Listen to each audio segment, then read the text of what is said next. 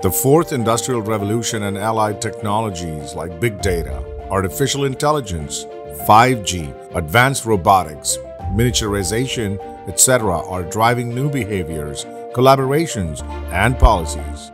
thereby leading to unprecedented social changes. The digital ecosystem is evolving by integrating a variety of data sources, including real-time data, improved analytical capabilities, and by moving from data to knowledge services to solve real-world challenges.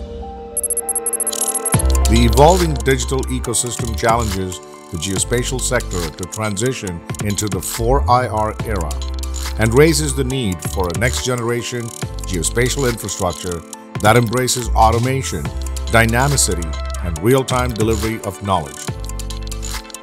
Geospatial Knowledge Infrastructure, or GKI, aims to provide the critical geospatial component to knowledge and automation, and thereby position geospatial, a general purpose technology, at the heart of 4IR and knowledge economy.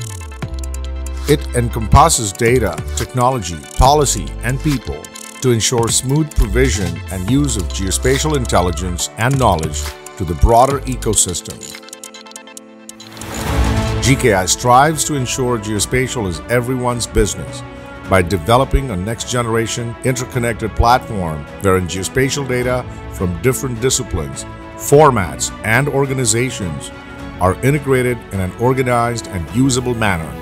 thereby developing a geospatial-enabled decision support system